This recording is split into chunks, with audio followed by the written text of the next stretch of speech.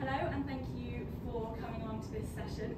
Um, I'm going to tell you about my master's research project and by the end you will be relative experts on why bacteria have defence systems, what they're defending against and how they do that. So, we all know what a bacteria is, right? They are tiny microorganisms, they exist in every niche in the world. In fact, in your body right now, you have more bacterial cells than you do human cells. So we have good bacteria, like those that exist in your gut and keep your digestive health, and those that exist in the oceans and produce oxygen and fixed carbon for us. And we also have bad bacteria, so these are also called pathogenic bacteria, um, and these are responsible for 7.7 million deaths, which is about 14% of global deaths every single year. So we also all know what a virus is, right? COVID-19, HIV, the flu. But what you might not know is that in the same way that we can be infected by viruses, become sick and even die, bacteria also have viruses. So these are called bacteriophage, um, and these are obviously not the same as human viruses. So the word bacteriophage comes from the bacteria and phagein, which is Greek and it means to eat. So these are literally bacteria eaters. Now this is slightly misleading name because they are much, much smaller than bacteria, so they don't actually engulf or eat them, but they are bacteria killers. And I'm interested in what the relationship between these two organisms actually looks like. So since the beginning of time, since about 3 billion years ago, bacteria and phage have been in a constant co-evolutionary battle, which is also called an arms race. Um, so they're basically evolving these arsenals against each other. So I've made a little illustration for this. So this is your bacteria, and it will be infected by your phage. Now your bacteria will evolve resistance to your phage, and the phage can't infect.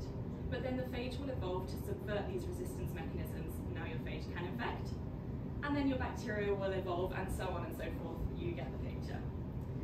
So my research essentially is to understand um, and find novel ways that bacteria protect themselves against phage infection.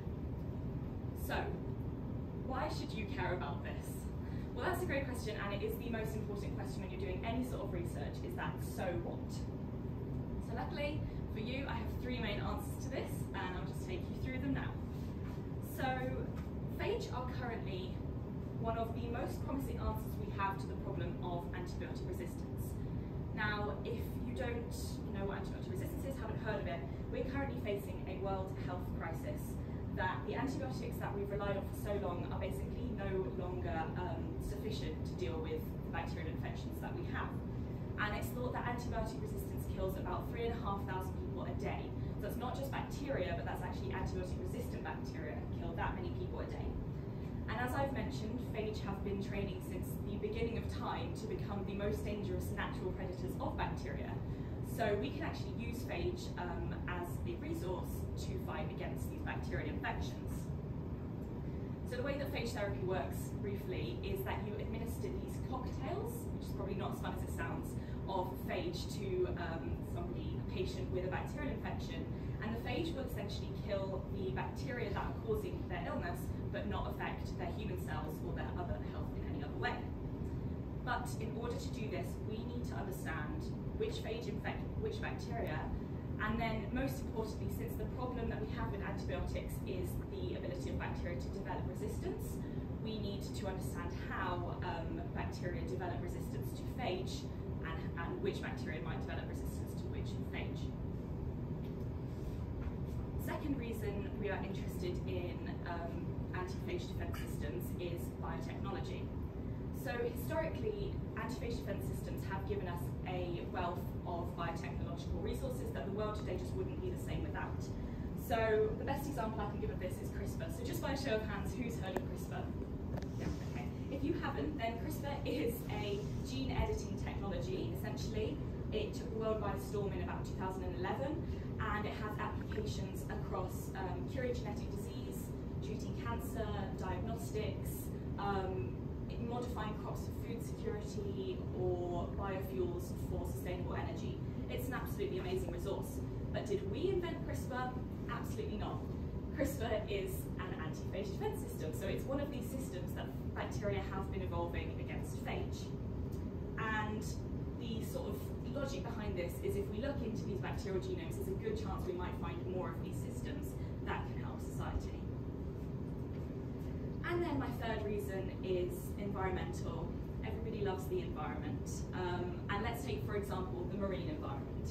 So there are these bacteria in the marine environment called cyanobacteria. Um, and these are a little bit different from normal bacteria because they're photosynthetic organisms, so they fix carbon and they produce um, oxygen. And they're actually responsible for fixing a quarter of the carbon on the planet.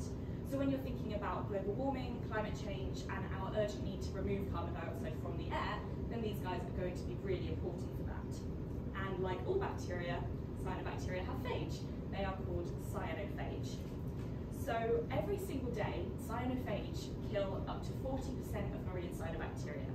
Now that number probably doesn't really mean anything, but to put that into context, that number is equivalent to the number of animals that have ever existed. So that's not just the number of species that have ever existed or the number of animals alive today, the number of individual animals that have ever existed in the history of the world. So that is just a massive number. Um, and because of that reason, then the relationship between cyanobacteria and their cyanophage is going to be really important for tackling the problems that we're having today. So hopefully I've convinced you all of the importance of phage and the importance of understanding bacteria-phage relationships now let's get into the nitty gritty of how do you find a bacterial immune system. Luckily I've broken this down into a neat five-step plan for you all.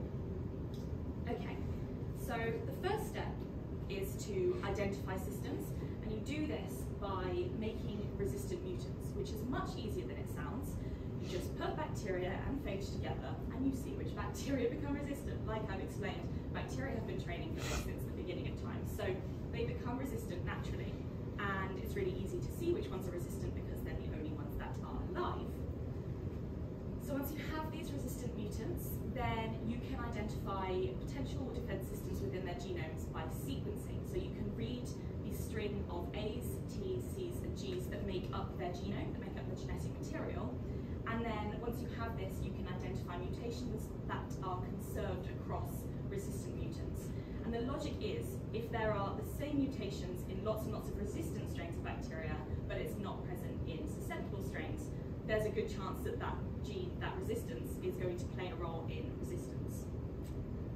So, right, now you have your system identified, right down to the gene. The way that you can sort of validate or look further into the functions of these genes is again really simple. You just put it into a place it wasn't and take it out of a place it was. So you can do um, a knockout.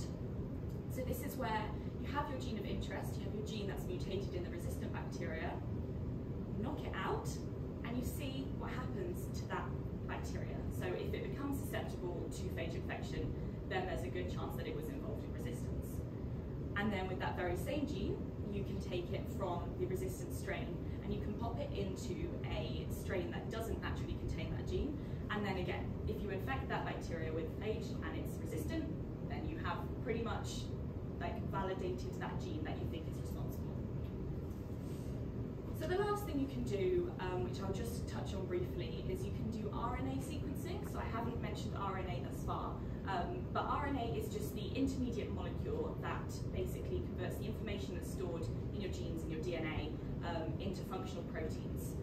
So if you look at essentially what's going on in your RNA, what proteins are being produced before and then during the different stages of infection of the bacteria with a phage, then that will give you an indication as to which genes are switched on which genes are involved in the bacterial immune response.